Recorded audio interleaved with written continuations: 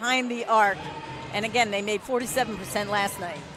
Josh Gray gets it back. Things he felt like that they are doing a much better job of sharing the basketball. Eagle on twos as well. Josh Gray scoops. Scottie Lindsey leads Erie in three-point shooting at four. turns it over. Bess up for the speedy Gray.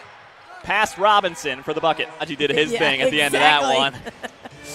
Here is Gray though. Around Koumadje. I kind of feel like he's looking what Bryson looked like last night. Josh Gray, that's pretty up and in. They lead by 10. Just under 10 to go in this fourth quarter. NBA G League action. You He's 33% on the year. Right. Josh Gray. Give